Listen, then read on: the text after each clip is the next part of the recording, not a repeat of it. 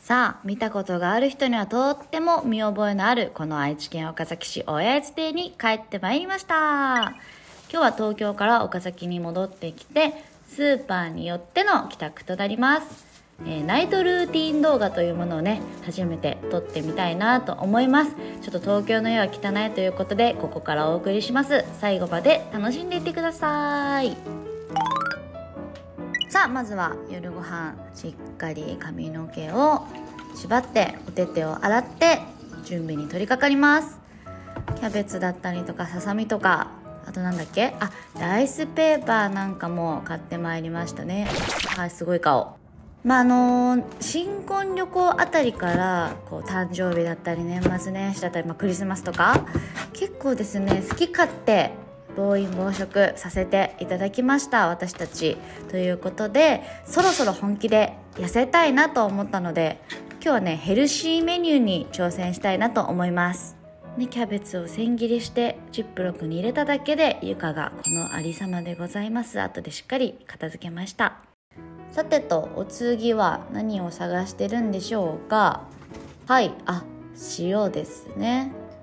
さっき千切りしたキャベツに塩とあとねお酢を 200ml ぐらい入れてこれをねなんかもみ込むというかシャカシャカシャカシャカ合わせてなんか半日寝かしてスキャベツというものを作ってですねこれはなんか昔流行ったダイエット法でなんかダイエットにいいみたいなのでちょっと初めて作ってみました、えー岡崎で夜ご飯は結構外食行ってしまうことが多かったんですけど、まあ、ダイエットをしようっていうこともありますしちょっとは新興生活っぽいこともねちゃんと取り入れていけたらなということで最近は毎日ご飯作ってるよなんていう方たちに比べたらまだまだまだまだ過ぎるんですけれどもたまにご飯を作って食べてもらうようにしています。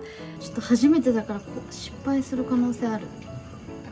こちらはですねささみとチーズとしそをライスペーパーで巻いて焼くやつ。なんかヘルシーなんだけどちょっとライスペーパーのもちもち感もあって良さそう。こちらがタコのなんだろうネギあえ？さあこんな簡単なご飯ですけれどもダイエットメニューが完成しました。いただきまいただきます。うまそう。この動画に映っていいのか声を出していいのか迷っている夫哲也氏どうですか？なんとなく美味しいいただきます。うん、うまいじゃん。うーパーの意味があるのかまい。なうまい無限に食える違うの本当はねこれなのな。ん？これを最初に食べなきゃいけないのなんで食べなかったの？あったかいうちに食べたかったからこれなんか一時期有名だったスキャベツスキャベツ。これを毎食後毎食前に食べると痩せ筋あ。あ、これはなかなかですね。頑張ろうルーティンっていつもやってることだよねうん。ルーティン用に張り切ってやることはナイトルーティンじゃないんだよ。張り切りナイトルーティン もう矛盾してるやん、それ。いや、ルーティンじゃない、張り切りナイトだよ。この動画張り切りナイト。西みなみの張り切りナイトラジオ うん。まあルーティンほどご飯も作らないけど最近は作ろうという気持ちがあるどう？最近は結構作ってくれますね。前よりは。このコップ初めて使った。うん。映る？ちょっと。モザイクかけてあげる。え？かけてくれるって何？俺求めてた今モザイクを。これ今モザイク中なの？うん。後で。かわいそ後で怒られてください。うかわいそう。モザイクがどれだけ大変なことかやめてください無駄な動きを。あ一緒に外食しまくってたけどそれも若干落ち着いてきたのね。うん。テンションがとってもなんか素ですね。これカメラ回ってる意識があるのかないのかってぐらいいつもの低いトーンでお恥ずかしい限りです。今日だいぶヘルシーじゃない？うん。俺もっとしもっともっと質素でも全然いけるわ。うん？これなかなか贅沢ヘルシー。うん。もうちょいやる？これぐらいでいいです。続けるなら。美味しくない？うまいじゃあこれとこれの相性いい。あそう。これはブロッコリーがうん。ちょっとだけ余ってたから作ったの。うーんそんな余り物で作るなんて昨日聞いたことできるの？張り切りないとやべえなご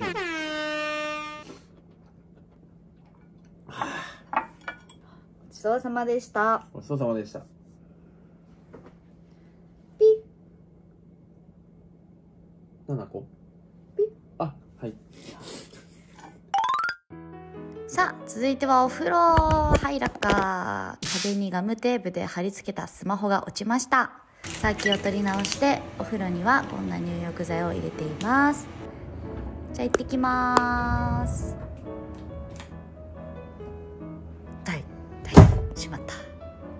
い入浴中はアルルくんの映像をお楽しみください。かわいい。猫っぽい。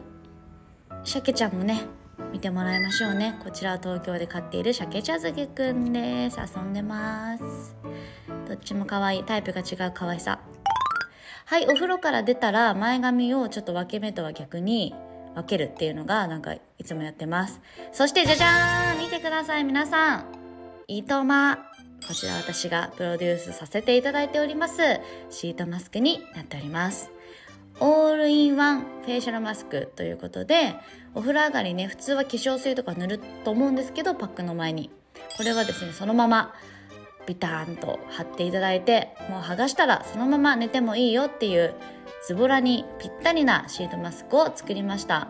スキンケア中に糸間に関するお知らせがあります。えー今月23日に糸間初のポップアップストアを原宿のアットコスメ東京さんで行います。糸間のシートマスクを買ってもらった方に手渡しでお渡ししたりあのサインなんかを入れたりとかっていうイベントなんですけれども実はですね事前に販売していたチケットは売り切れてしまったんですが当日枠が少量ではありますがございます。当日枠はあの1枚売りのみになるんですけれども、えーサイン名前入れなどができないんですが私が手渡しで皆さんにお渡しします。さあしっかりとこう顔面にね密着していきましてこれかなりねシートのなんだ生地もいい感じで密着もすごくするのでこの後貼ってる間にいろいろ動けるよっていうのもなんかいいなって思うポイントです。そしてなんといってもこの美容乳液がねかなりたっぷり入っているのですごい余っちゃうんでちゃんともったいないんでこう袋からしっかり出して太ももとかふくらはぎとかねまだまだ乾燥する季節なのでしっかりほらこんなたっぷり入ってますんで乗り込んでいってください。全身保湿をさせてもらっています。でまだ余ってるんでね。これよくねみんなやってるんじゃないかなと思うんですけどお尻とかにもね浸透させてお腹とかにもねしっかり塗り込んではい最後顔。問題ないですお風呂上がりの綺麗なお尻なんでね。はいバッチリ。パックをしてる間はね20分ぐらいあるんでスマホタイム。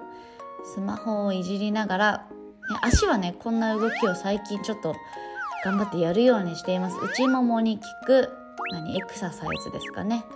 はい。外から見るとこんな感じ。なんでこれ画面縦なのって思うと思うんですけど実はですね、はい、この彼の石つぶてを使ってですね 撮影をしておりました。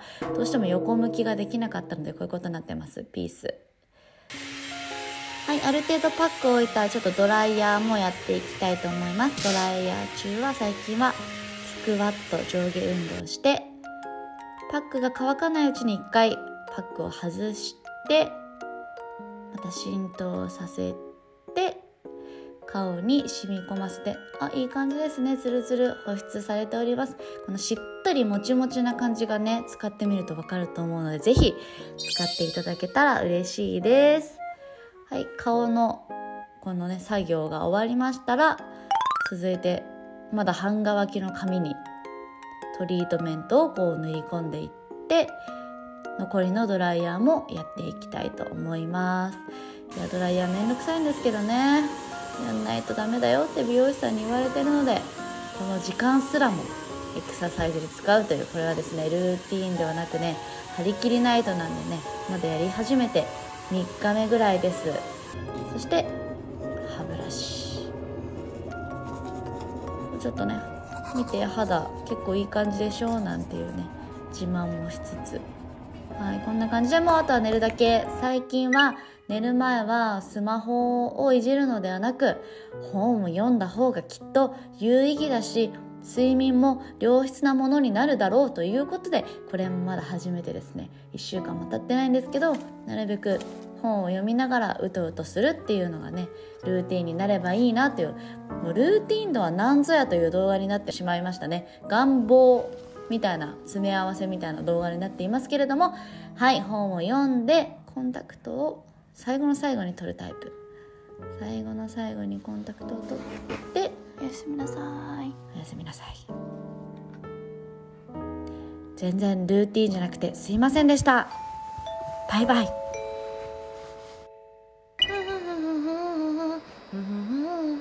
私